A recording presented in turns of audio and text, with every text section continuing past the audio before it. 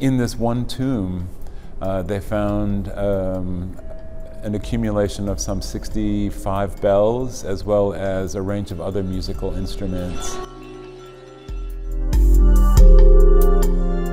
The Chinese musical system in the Bronze Age was probably the most sophisticated in the world, and I think most people don't know that.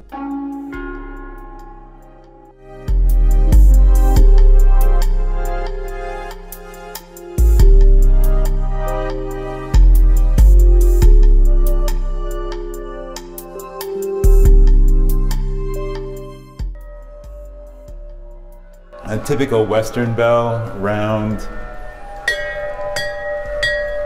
No matter where you hit it, you get the same kind of, the same pattern.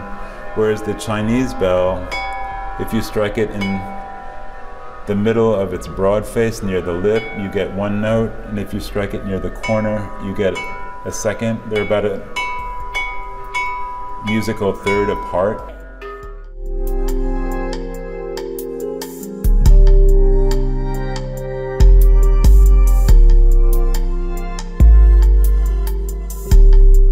Our conservation team is loath uh, to have us play them today.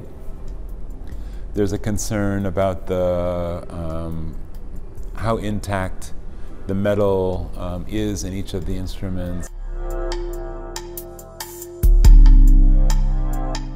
The designers of the bells could have made very clear strike points or indicated very clearly in the decoration or in the design of the bell the precise strike points they wanted you to use, but they didn't do that. Maybe they just didn't want us to know. Maybe they didn't want us to know.